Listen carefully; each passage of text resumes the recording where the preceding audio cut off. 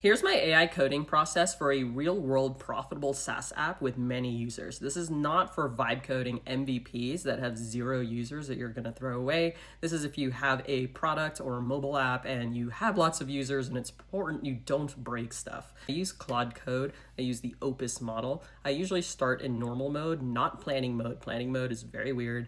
And then I transition to auto accept edits mode when Claude actually starts coding. Whenever I work on something new, I type slash clear to clear the context and start fresh. And then I have a shortcut defined in my Claude MD rules file. Type Q new, then Claude knows to read my Claude MD file and understand all of my coding best practices listed there.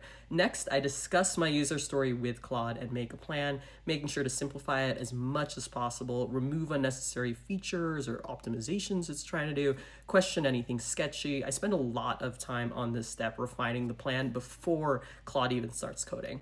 When I'm pretty happy with the plan, I have a shortcut Q plan that tells Claude to analyze similar parts of my codebase and determine whether its plan is consistent with the rest of the codebase, introduces minimal changes, uses existing code. Believe it or not, this Q plan step does wonders. It makes such a big difference.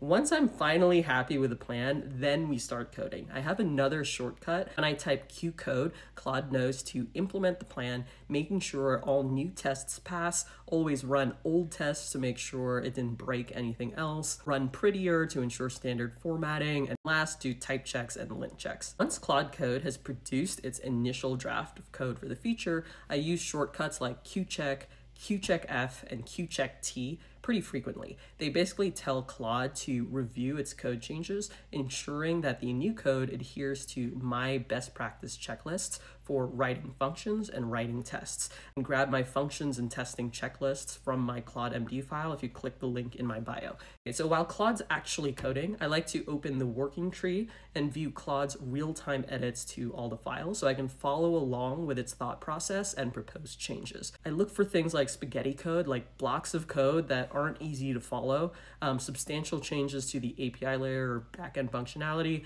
unnecessary imports, functions, or comments. And just like in Cursor AI, I'll highlight a code block and be like, is there a better way to do this? And frequently there is.